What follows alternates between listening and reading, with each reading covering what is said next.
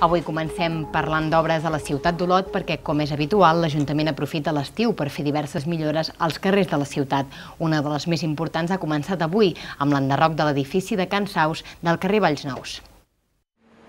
Després de l'actuació al carrer Serra Ginesta, el següent pas al nucli antic és l'enderroc de la casa coneguda com Can Saus, al carrer Valls Nous. Es tracta d'una casa propietat de l'Ajuntament, situada al número 1, que es tira a terra per poder ampliar el carrer Proa. L'actuació està valorada en més de 40.000 euros. La inversió de l'enderroc és aproximadament d'uns 25.000 euros i llavors el carrer i la resta de l'organització calculem en, valor de projecte està pel voltant dels, dels 20.000 euros tot absolutament acabat. Les obres van començar fa dues setmanes a l'interior de la casa.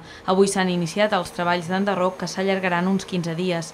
Mentre durin les obres, el carrer Sandrada quedarà tallat al trànsit, així com una part del carrer Valls Nous. Un cop acabat l'enderroc, quedarà un petit espai de descans per als veïns. Serà una zona de descans amb uns bancs, potser sí, algun arbre, però, però no, no hi cap, no hi cap. Bueno, veurem, veurem, això ho hem de dibuixar, quan tinguem exactament tot l'espai, amb el que ocupa el carrer, l'espai sobrant, i llavors, però sí que farà que una mica tota l'església d'altura per aquell costat doncs, eh, respiri molt més i quedi molt més digne tot aquell costat d'allà. Eh?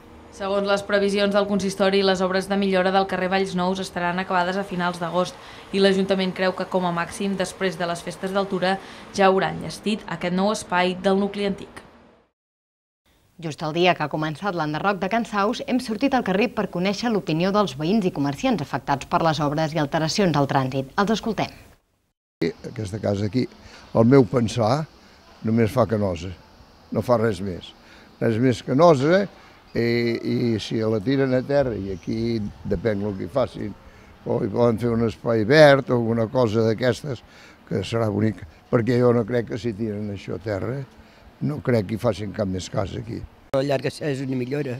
Tot el que sigui obrir carrers d'Olot és una millora. I tot el que han arreglat de nou, així en petita escala, m'agrada molt de lo, que, de lo que han fet Olot. Vull dir, tant el pont de Santa Magdalena com aquesta mateixa plaça, com la plaça de Can d'en Mas. Hauria d'anar a terra també això, jo diria. Perquè un dia pot caure i fer mal a algú i llavors què? Les persones que ens venen a portar el gènere, al no poder circular per aquí, doncs de vegades ens, ens venen més tard. Són moltes coses el que ens estan afectant, ja no deixa de ser només aquest carrer, sinó quan van tallar també aquest aquí al costat, a part de que els tallen i així no ens avisen. Mirar si pogués ser segons quin mes es faci, perquè clar, els, el, per exemple, les altres obres que hi havia abans, els mesos que ens ha agafat és els mesos que nosaltres ens anava bastant bé, i clar, vulguis això eh, es nota amb, amb el calaix, es nota bastant. Ara arriben proveïdors, no saben per on entrar, els hi varia la ruta, ens foten crits a nosaltres, i nosaltres el que els diem és que, que no hem estat avisats, no sabíem res.